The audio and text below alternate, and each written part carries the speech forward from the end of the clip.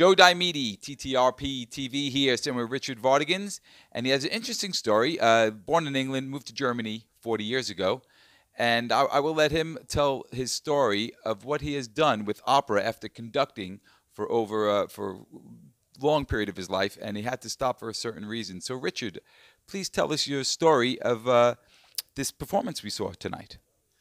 Yes, uh, the big question is why does one go to Germany at all? Uh, the answer is the, the, opportunities for musicians are much more on a lower level to gain the experience because there are many more orchestras, many more theatres than there are in the UK.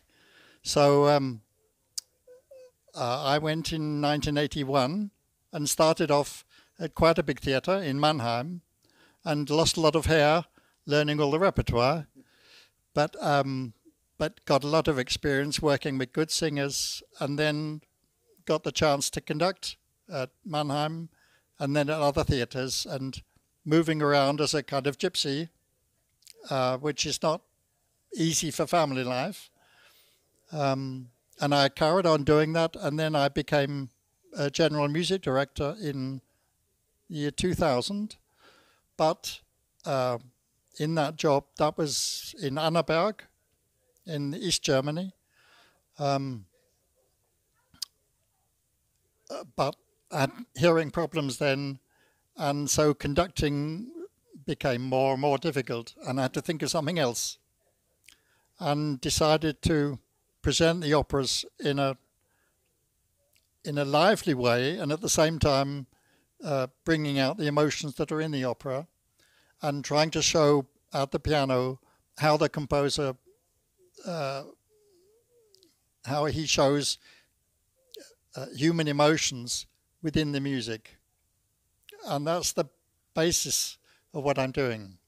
Um, it depends very much on the piece, how you present it. With La Boheme, which we've just heard, uh, you can make a few jokes in the first half, but you can't make many jokes towards the end. Uh, there are other pieces which are fairly serious all the way through, and other ones you can just have a laugh. Or others, even where you can almost have a laugh. Uh, it's meant seriously by the composer, but everybody knows like Wagner's Lohengrin, he comes in uh, being pulled by a swan, you know, and uh, uh, well, uh, that doesn't, that's not possible, you know. Uh, but it's still a very moving movement in the opera. So you have to adapt according to the, the subject matter. Um, so it's certainly not a persiflage or a parody. it's meant as a serious attempt to bring over what the what the composer wanted and how he put it into music. Wow.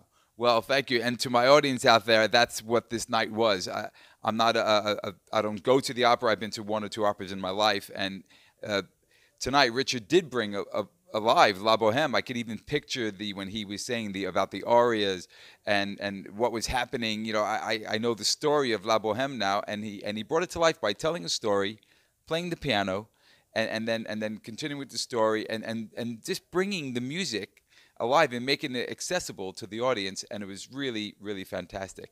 Uh, thank you, Richard. Thank okay. you very much. Thank you very much. okay. TTRP TV, Joe Diomede saying goodbye until next time.